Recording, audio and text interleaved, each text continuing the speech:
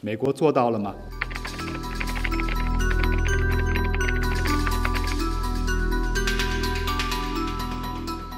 近来，美方一再散布虚假信息，借乌克兰问题对中国进行污蔑抹黑。这种为了推卸自身责任而造谣的手法，十分虚伪卑劣。散布虚假信息掩盖不了美方自身的责任，反倒暴露了美方借危机渔利的真实意图。美方应当诚实交代。美国声称推动北约东扩是为了维护和平，美国做到了吗？美国声称要防止欧洲发生战争，美国做到了吗？